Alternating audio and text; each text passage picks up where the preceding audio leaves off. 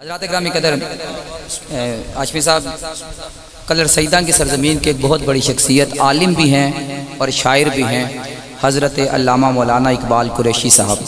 कल दिन में हम कलर सईदा इकट्ठे थे।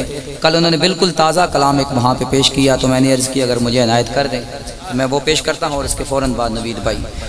सुनिएगा, बहुत अच्छा सुन रहे हैं। हमें, हमारा रोज़ का काम है, हमें पता होता है कि किस मजमे से कितनी दाद मिल सकती है।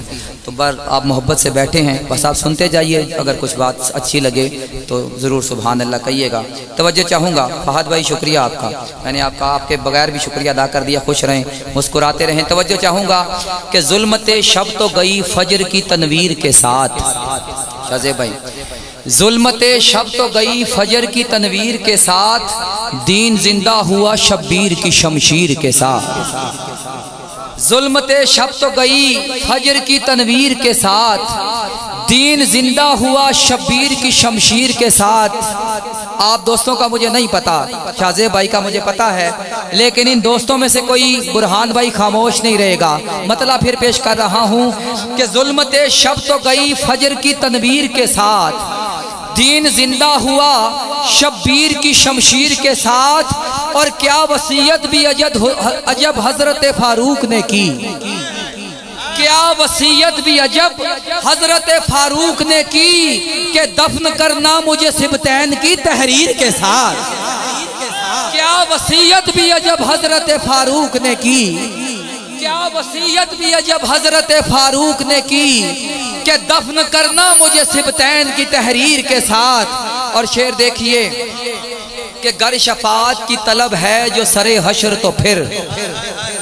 शर्त क्या है, शेख साहब? गर शफात की तलब है जो सरे हशर तो फिर नाम लेना न कभी आल का तहकीर के साथ। नाम लेना न कभी आल का तहकीर के साथ। और शेर सुनिए कि कैसे बदबख्त मुकाबिल थे अली अकबर के।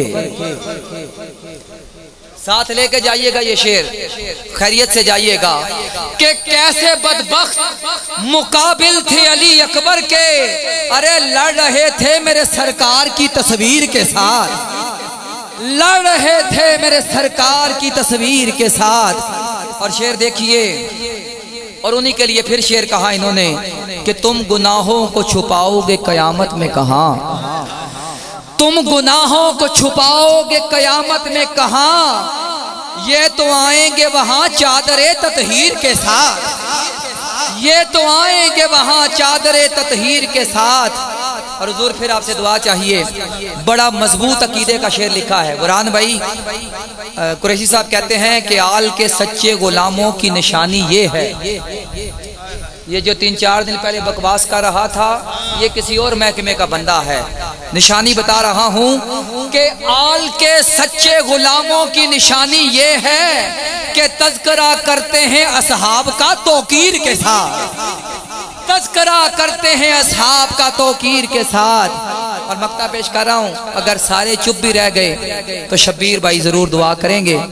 तवज्जो चाहूँगा, क्योंकि काफिया ही ये है। सुनिएगा कि जब से शमशीर कलम हाथ में आई इकबाल, शमशीर कलम की दाद चाहूँगा।